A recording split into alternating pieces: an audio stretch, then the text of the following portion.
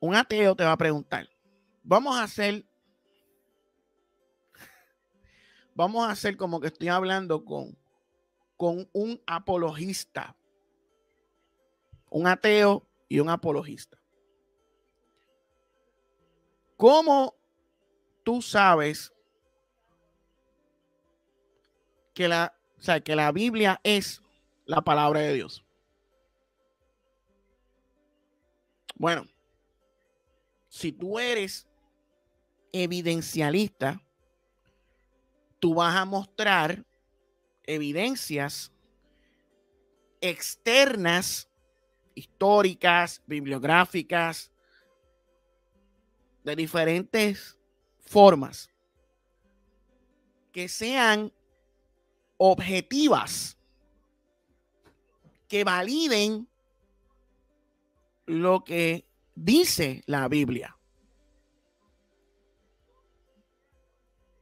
Si tú eres evidencialista, si tú eres presuposicionalista, tú le vas a decir al ateo, no, yo creo que la Biblia es la palabra de Dios, que es la palabra de Dios, porque la Biblia lo dice. El ateo te va a decir, pero ¿cómo tú sabes que la Biblia es la palabra de Dios? No, porque la Biblia lo dice.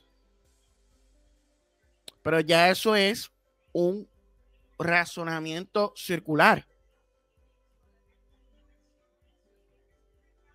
Ya tú no estás mostrando una prueba objetiva, sino una prueba subjetiva del mismo, de la misma fuente en sí.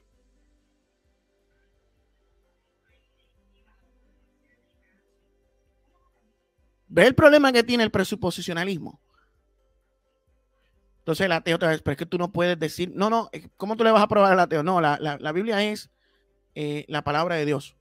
Ok, pues dame una prueba objetiva que eso es así. El presuposicionalista te va a decir, eh, bueno, la Biblia misma es la palabra de Dios, los evangelios. Ok, lo que pasa es que los evangelios están dentro de la Biblia.